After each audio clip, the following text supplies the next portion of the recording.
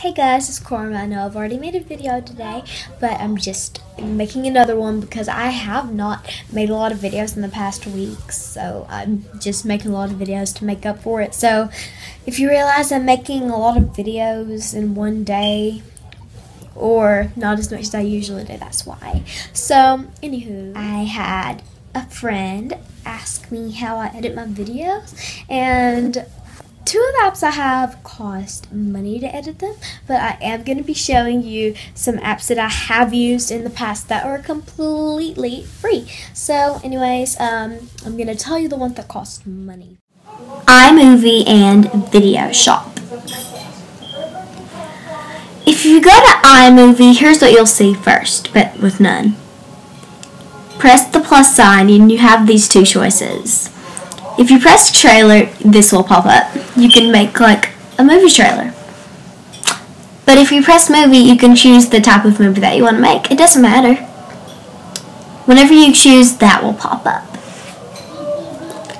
I usually press recently added and pick out a video that I want to edit or create. And yeah, I press the arrow and then your videos will be at the bottom.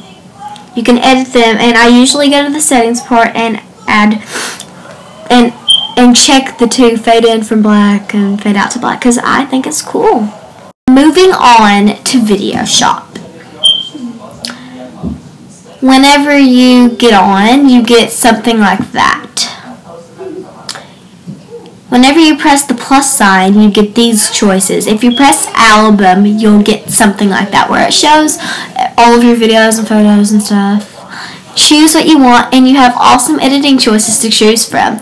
Enjoy. I would have to say that iMovie is better.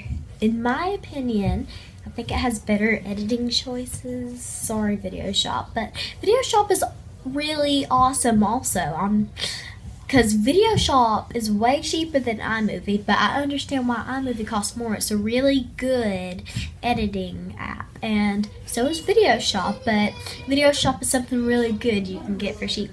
I'll leave a link to those, um, to those two apps in the description below. Remember, they both cost money.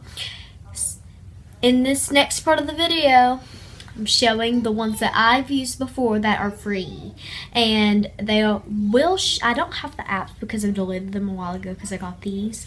And um, these are, the, the next ones I'm going to show you are free. But I can't get on the apps, of course, because I deleted them. And I don't want to download them because I'll run out of space and stuff, you know.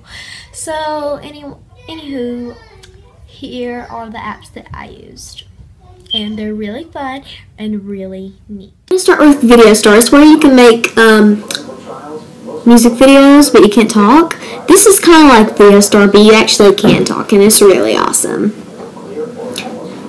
Ghost Lens is where you can make videos and it seems like there are lots of people in your video but it's only just one person, you. DubMe is where you can make voiceovers and easy tutorials for free. PicPlayPost is where you can make video collages. It's really awesome. Musical.ly is a very awesome video. You can make awesome music videos. It's awesome. Thank you guys so much for watching. Like and subscribe and goodbye. And be sure to watch my other videos.